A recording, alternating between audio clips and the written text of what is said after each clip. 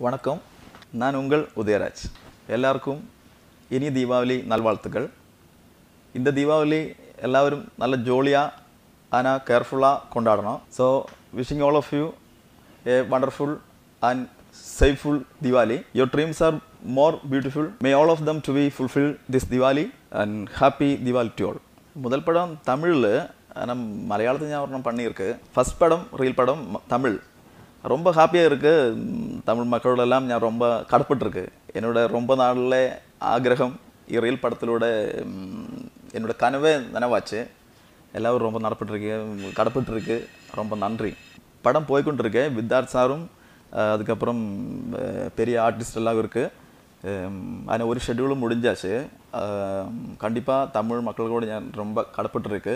அது என்னென்னா ரீல் படம் பார்த்து அதோட ரிசல்ட் பாசிட்டிவ் கிடச்சதுன்னு அப்புறம் தான் ഡയറക്ടർ சார்னை കൂപ്പിട്ട് இந்த இந்த ஒரு ഓപ്ഷൻ கிடச்சாச்சு ரொம்ப கடப்பட்டிருக்கு ഞാൻ പടത്ത് ഉള്ള വന്നപ്പോൾ നനയ്ക്കാതെ ഹീറോയി വരുമെന്ന് നനയ്ക്കാതെ ആനാ നല്ല ക്യാരക്ടർ മക്കളുടെ മനസ്സിൽ പതിയണ ക്യാരക്ടർ എന്നെ കിടച്ചാലും അത് സീൻ എത്ര നമ്പേഴ്സ് എത്ര സീൻ അതൊന്നും നോക്കാതെ അത് പെരുസ ഡയറക്ടർ ആണെങ്കിലും പുതു ഡയറക്ടർ ആണെങ്കിലും ഞാൻ കണ്ടിപ്പാ പണ്ണും.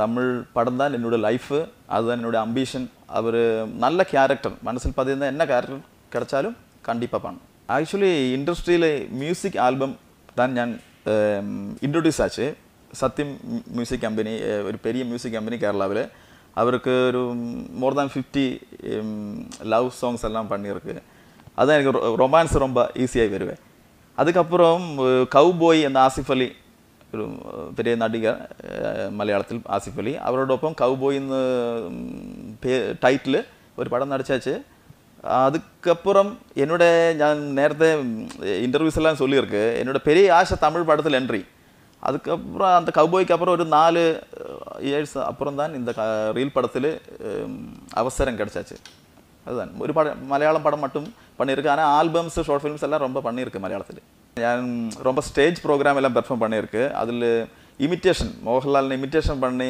രണ്ട് മൂന്ന് പ്രോഗ്രാം ചെയ്തിരുക്കു അതുകൊണ്ട് അവർ പേച്ചിരുക്കുക അതിലൊന്നും ഒന്നുമില്ല. അവരെല്ലാം പെരിയ ആക്ടേഴ്സ് ഒന്നും ചൊല്ല മുടിയാത്